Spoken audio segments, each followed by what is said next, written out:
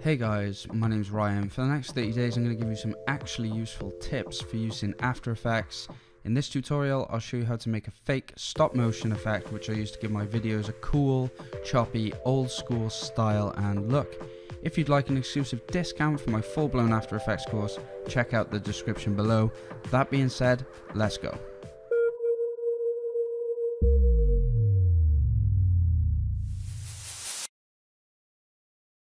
So the first thing we need to do is just animate with a position keyframe. So I'm just going to scroll through and on the side here I've just got a picture of my head.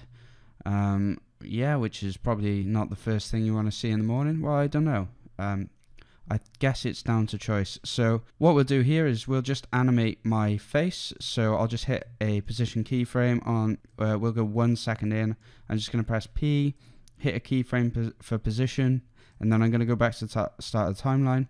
I'm just going to drag myself down. Then I'm going to hit spacebar and you can see that I just go up like this, really kind of in a linear, flat sort of motion. So then all I need to do is I need to click Alt and hit the position keyframe uh, to bring up the expressions menu and we're going to type post which brings up posterized time so you can just type post and that'll come up by default and press enter and when you sorry my keyboard, my microphone is more sensitive than a five year old version of me. You hit posterize time and the brackets come up and then all you do, this drops the frame rate to whatever number we put in here. So I'm going to just put 8 and now when I click off you can see nothing happens because I need to go underneath. I need to press enter after the 8 and type value and then we click off and it just means the value is going to be whatever the keyframes are. They're going to be down to 8 so posterize time the new frame rate and then value underneath and then just click off. And there we go. We've got that kind of stop motion effect. Now if we want to give it that like consistent jigger uh, jigger if we want to give it that consistent wiggle well, guess what we do? We just make another line under value by clicking the same thing. By the way, if you've lost this, all you do is uh, just press P to drop down the, you can see that the, the position is red, which means there's an expression on it. So when you drop this down, you can see the expression.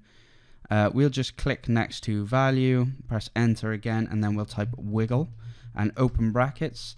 Now the first number is how many times in a second you want the wiggle, so I'm going to put 5, and then you can put comma, and the second number is how far do you want it to wiggle, you know, in like pixels, and I'm just going to put 2. So now, every 5 seconds it's wiggling 2 pixels in a random direction, but it's also only wiggling at 8 frames per second. So like say we make this a bit bigger, let's put 10, you can really see the choppy sort of effect that you've got there.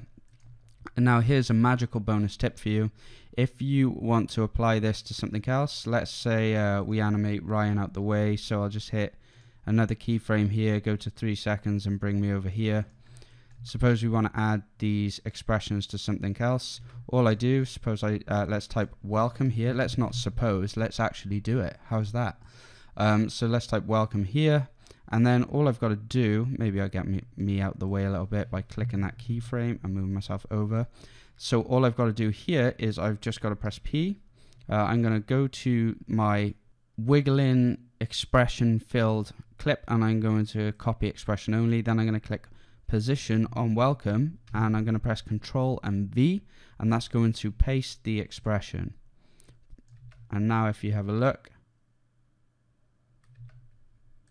well, I'll trim that down so it appears here. They both have that sort of uh, cartoony, I don't really know what it is. It's kind of like a, back in the day when uh, films were jittery, apparently, I don't know. I don't know, were they? Let me know in the comments. Were films really jittery? Am I wiggling too much? Um, but anyway, I hope you've enjoyed this tutorial. Like I said at the start, I have a full-blown After Effects course and it's less than uh, going out for dinner. So that's in the link in the description below. Stay tuned, subscribe if you want, and you'll get notified about the video tomorrow, which I have to go and think about. So, that being said, thanks for watching. See you in the next video.